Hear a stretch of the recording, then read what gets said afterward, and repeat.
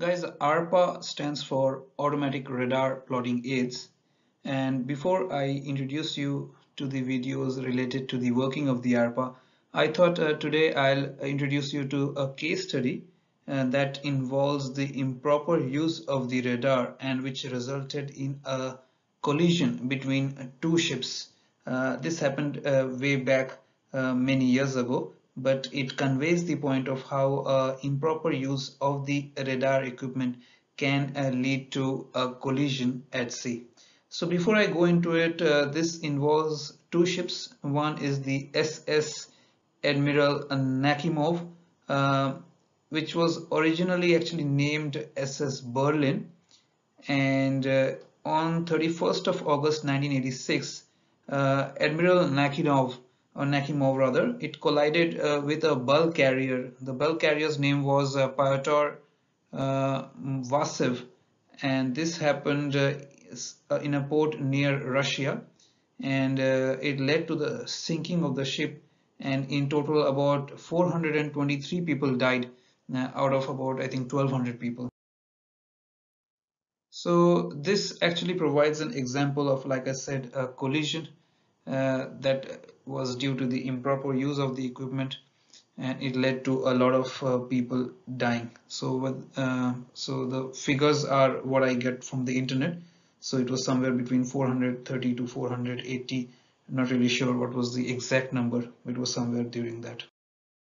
So what happened in the case study was that uh, somewhere in the morning Admiral Nakhimov uh, which was a passenger vessel of about 17,000 gross tonnage at 2200 hours uh, that is uh, 10 p.m. at night uh, that is Moscow time on 31st of August 1986 it sailed from Novorossiysk Novorossiysk uh, and it was en route to Sochi and that was the next port uh, there were about uh, 890 odd passengers and 346 odd crew members on board and most of the passengers were Ukrainian with some others from uh, Russia and the Baltics. Uh, just minutes into the voyage, uh, the ship's pilot noticed that the large bulk carrier that was uh, Pyotr Vasev was on a collision course with the Admiral Nakhimov.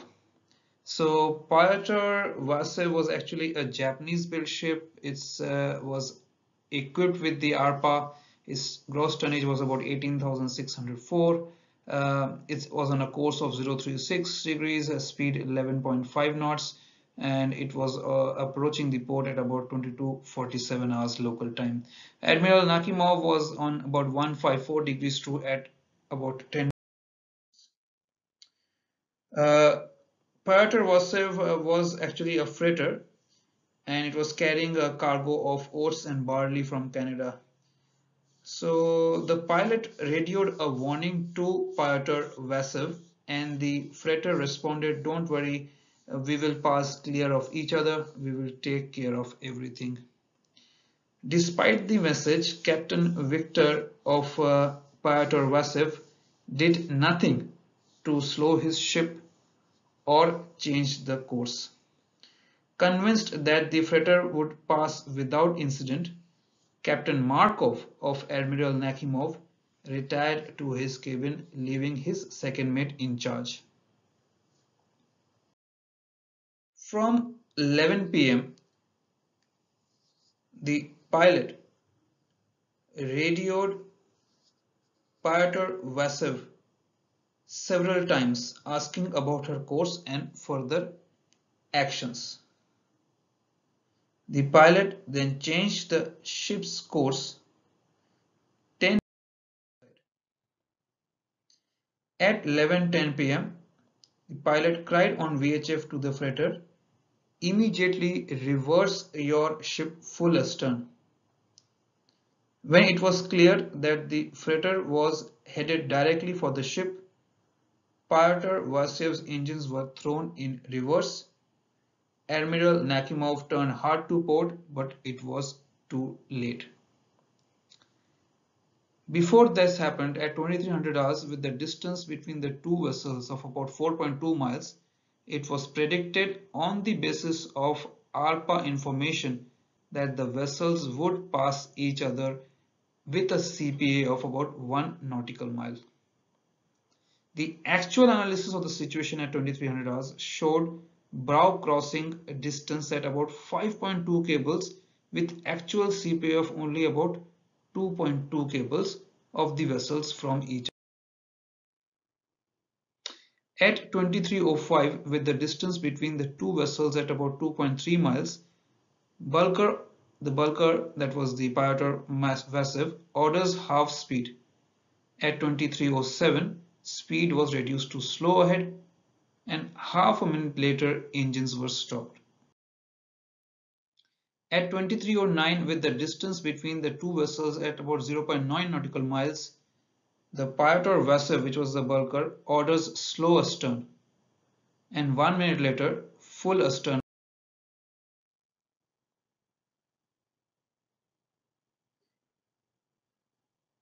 At 23 or 2312, Admiral Nakhimov was struck by Pyotr Vasev 8 miles from the port of Novorossiysk and 2 miles from the shore.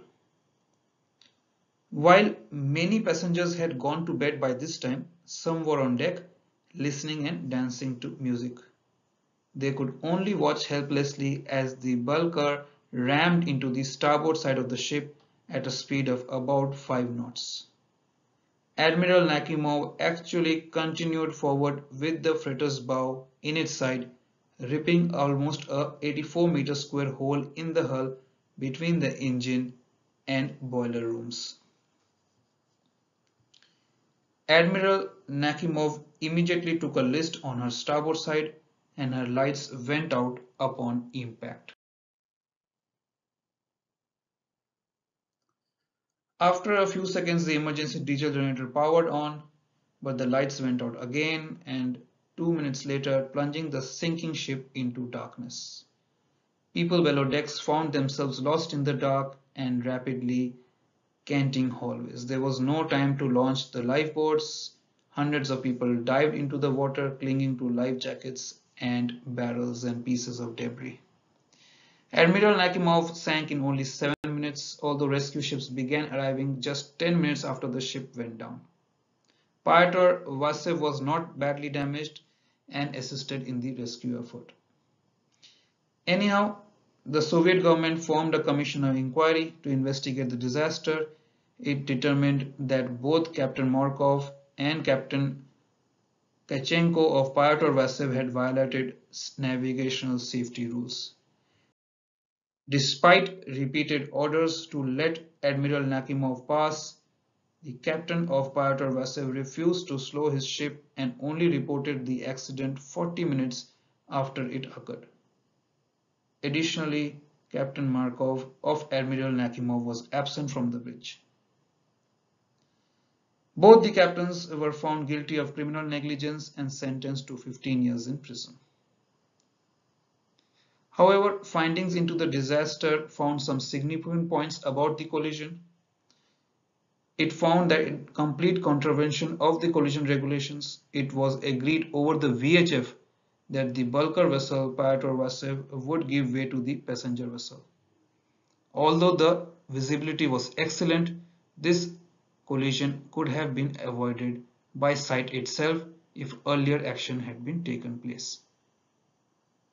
Operator had no idea of the 3 minutes time required which was the limitation of ARPA. So although the ARPA was being used, they relied completely on the ARPA, completely on the CPA. Early action was not taken. Peter Vasiv was the one which was rather not Peter Vasiv, Pyotr Vasev was one fitted with ARPA and it relied solely on the ARPA for collision avoidance. There was virtually no visual navigation that was taking place. When the target vessel was acquired by the ARPA on the bulker, the target vessel had commenced increasing speed and had begun a gradual alteration of course to port.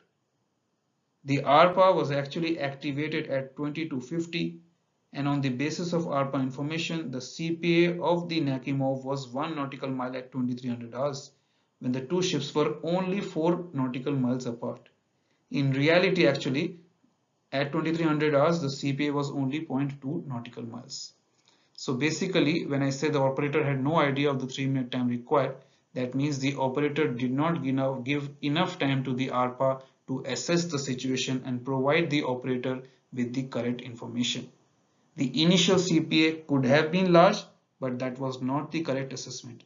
You have to allow the ARPA to track the target over a period of time at least 3 minutes to be able to provide the accurate information regarding the CPA or the TCPA in the ARPA.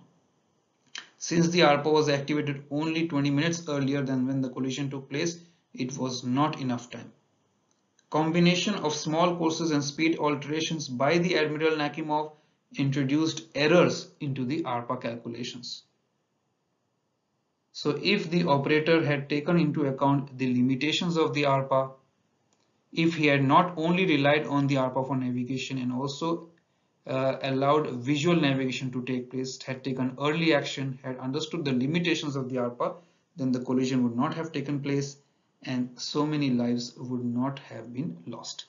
So the reason I showed you this case study is for you to understand the limitations of equipments like ARPA and radar. We have been making videos on ARPA and radar now and uh, you have to understand the limitations as well and in my future videos I'll also show you uh, the uh, operation of the ARPA, the limitations of the ARPA. I'll talk about uh, the target tracking and acquisition of the targets using the ARPA of course but I thought before I go into that I will uh, introduce this case study to you guys. Alright, thanks for watching guys and all the best with your studies.